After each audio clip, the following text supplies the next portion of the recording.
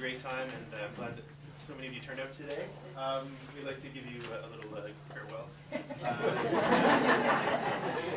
the Berceuse from the uh, Dolly Suite by Fauré.